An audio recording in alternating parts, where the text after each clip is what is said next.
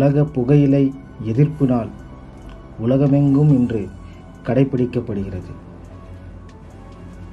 World no tobacco டே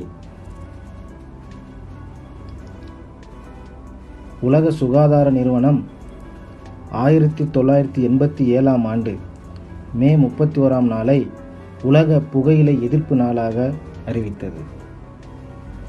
உலகில் மனித இறப்புகளை தோற்றுவிக்கும் முக்கிய காரணிகளில் புகையிலை இரண்டாவது இடத்தை வகிக்கிறது.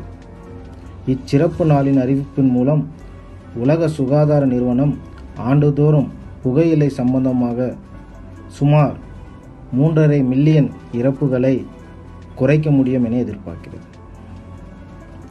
புகையிலை குறித்தும் புகைப்பதனால் ஏற்படும் பாதிப்புகளை பற்றியும் இளைய தலைமுறையினரிடம் விழிப்புணர்வு ஏற்படுத்தும் வகையில் இந்நாளை புகையிலை எதிர்ப்பு நாளாக உலகெங்கும் கடைபிடிக்கின்றனர் புகைப்பிடிப்பதாலும் புகையிலை பொருட்களை பயன்படுத்துவதாலும் உலகம் முழுவதும் சுமார் அறுபது லட்சம் பேர் உயிரிழக்கின்றனர். இந்தியாவில் தினமும் சுமார் இரண்டாயிரத்தி ஐநூறு பேர் வீதம் ஆண்டுதோறும் ஒன்பது லட்சம் பேர் புகையிலை தொடர்பான நோயால் இறக்கின்றனர். இந்தியாவில் இந்த ஆண்டு புகைப்பிடிப்பதால் பதினாறு லட்சம் பேர் இறப்பார்கள் என உலக சுகாதார நிறுவனம் எச்சரிக்கிறது. இதனை அனைவரும் கவனத்தில் கொள்ள வேண்டும். இது கொரோனா வைரஸை விட மிகவும் கொடியதாக காணப்படுகிறது.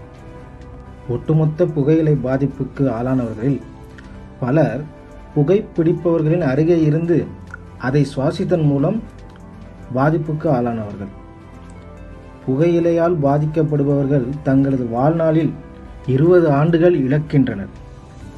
புகையிலையை சுவாசிப்பதால் அதனுள்ளே இருக்கும் நிக்கோட்டின் உடலுக்கு செல்கிறது. இரத்தத்துக்கு ஆக்சிஜன் சப்ளை செய்யும் நுரையீரலை மாசுபடுத்துகிறது. அதனால் நுரையீரல் புற்றுநோய் இரத்த புற்றுநோய் ஏற்படுகிறது. அது மட்டும் இல்லாமல் அடுத்த தலைமுறைக்கும் அது ஆஸ்மா மூச்சுக்குழாய் பாதிப்பு கண் தெரியாமல் போவது போன்ற தீராத பிரச்சனைகளை ஏற்படுத்துகிறது. மூச்சு விடுவதில் சிரமம் மாரடைப்பு போன்ற மிக மோசமான நோய்களை ஏற்படுத்துகிறது. புகைப்பழக்கத்திற்கு அடிமையாக இருப்பவர்கள் அதிலிருந்து வெளிவர முயற்சியை மேற்கொள்ள வேண்டும். அன்றாட வாழ்வில் நீங்கள் தினமும் புகைப்பிடிக்கச் செல்லும் இடத்தையும் உடன் புகைப்பிடிக்கும் மனிதர்களையும் தவிர்ப்பது நல்ல பலனை தரும். இத்தனை கொடிய பாதிப்புகளை ஏற்படுத்தும் புகைப்பழக்கத்தை விட்டொழிப்பதே சிறந்தது. உண்மையில் புகையிலை விற்பனையால் வரும் வருமானத்தை காட்டிலும் அதனால் ஏற்படும் உயிரிழப்பும் அதனால் வாடும் குடும்பங்களும் அதிகம். எனவே புகையிலை பொருட்களை தவிர்ப்போம். ஆரோக்கிய வாழ்க்கை வாழ்வோம். நன்றி வணக்கம்.